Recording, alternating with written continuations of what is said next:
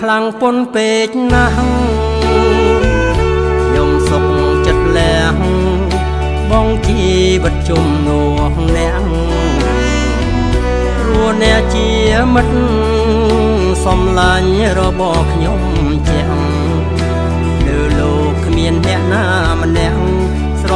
ឡាញ់អ្នកលើខ្ញុំនេះឡើយ ចាត់ទុកនាងជាមិត្តសំឡាញ់ខ្ញុំបានបំពេញ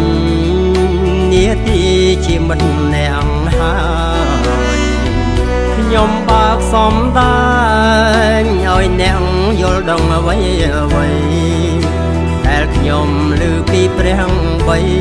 ដាគង់នៅឋានបរមសុខ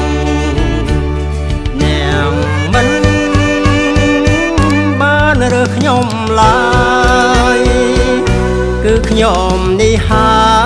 យដែលបានជ្រើសរើសអ្នកបកខ្ញុំតែងតាំងអ្នកឲ្យទៅក្នុងពិភពលោកទៅបងកើតផលកកោកជាផលដែលនៅគង់វង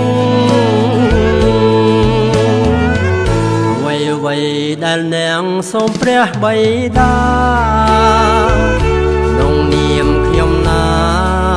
បិតាស្ដាប់ដោយចិត្តចង់ទ្រង់ប្រទានឲ្យអ្នកតាមហរតីព្រះអង្គ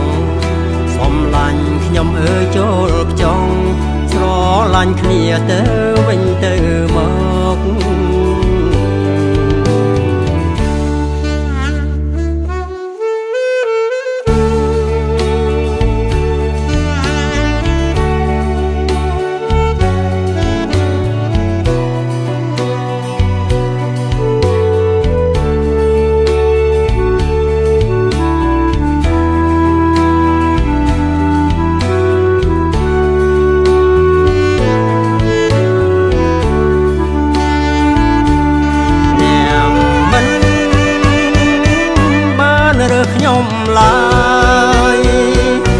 គឺខ្ញុំនេះហើយដែលបានជ្រើសរើសអ្នកបកខ្ញុំតែងតាំងអ្នកឲ្យទៅក្នុងពិភពលោកទៅបងកើតផលកកោកជាផលដែលនៅគង់វងអ្វីដែលនាងសូមព្រះបិតា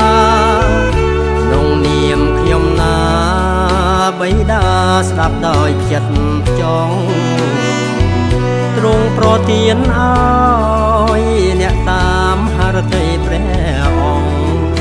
សំឡាញ់ខ្ញុំអើយចូលខ្ចង់ស្រឡាញ់គ្នាទៅវិញទៅមក